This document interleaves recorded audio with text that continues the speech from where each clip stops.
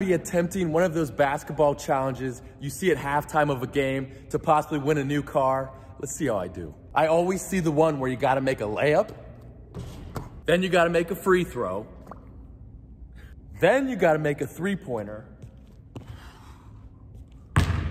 Finally, you gotta make a half court shot. All within 30 seconds. We'll see how long it takes me. I get one take, no warm ups. See if I would have run a brand new car.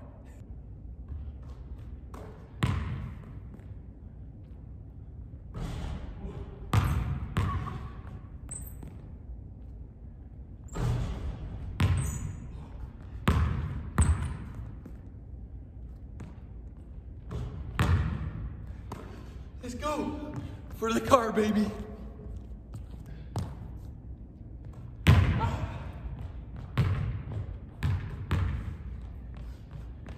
Normally I'd have rebounds. This might still be for the car.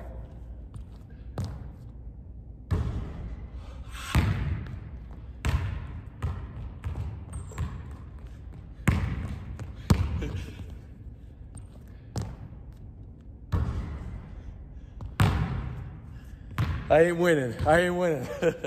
Dang, that's tough. Especially coming in with no warm-ups, being ice cold.